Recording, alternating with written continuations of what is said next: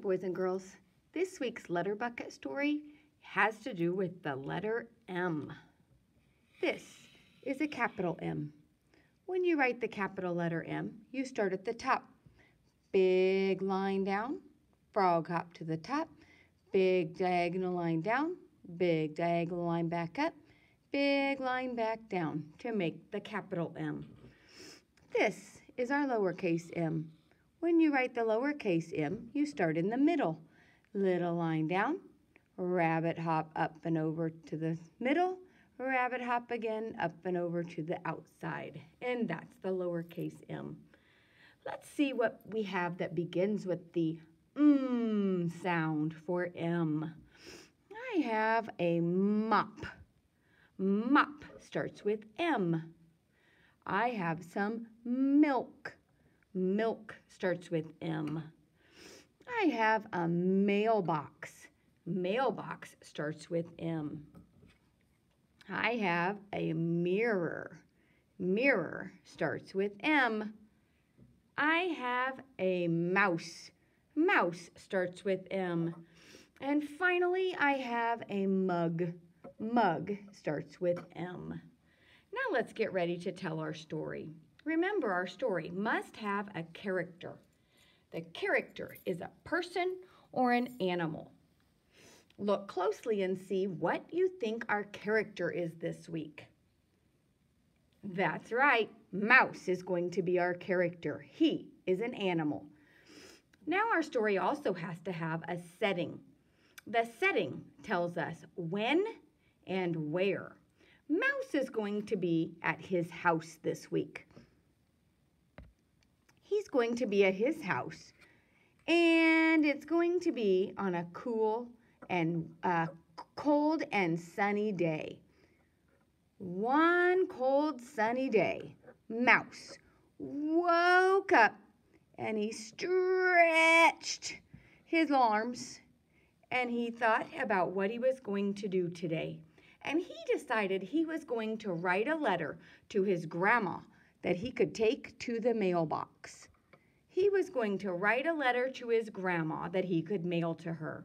So he sat down at his kitchen table, and while he was sitting there, he decided he was kind of thirsty, so he would pour himself a mug of milk.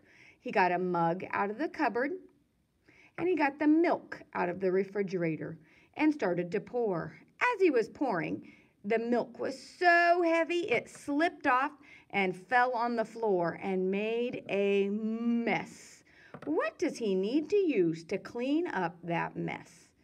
That's right, he's going to use the mop.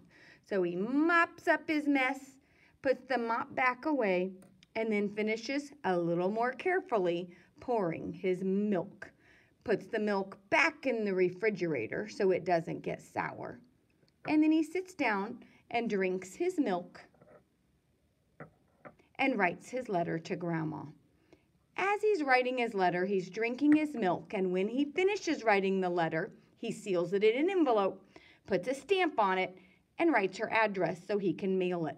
He finishes up that milk, and sometimes what happens when you drink milk so fast? That's right. Sometimes it gives you a milk mustache. So he wants to make sure he cleans that milk mustache off and looks to see if it is all gone. Where can he check to see if that milk mustache is all gone? That's right. He can look in the mirror. So he uses his napkin, wipes off his, his mouth, and then he looks in the mirror and he says, Ooh, I'm looking good today. Boys and girls, I want you to try saying that with me. And I want you to say that about yourself because every day you should be saying, I'm looking good today. Try it with me on the count of three. Ready? One, two, three. I'm looking good today. Very good. And then Mouse decides he's going to head on out with his letter to Grandma. He goes to the mailbox, puts his letter in, and comes back home and waits. What do you think Grandma might do when she gets that letter? That's right. She might write him a letter back, or she might come visit him and see what he is up to. Boys and girls, I'm glad you listened to my story today, and thanks for listening, and I'll see you again for another letter.